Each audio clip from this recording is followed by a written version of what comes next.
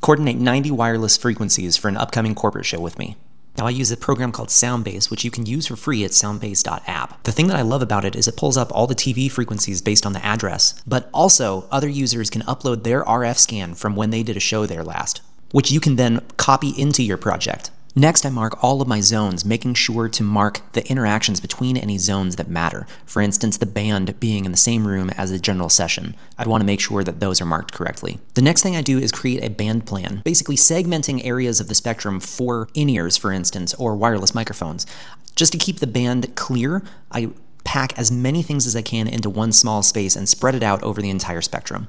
Starting with my most important room, I'll then add the equipment and then search for frequencies for that gear.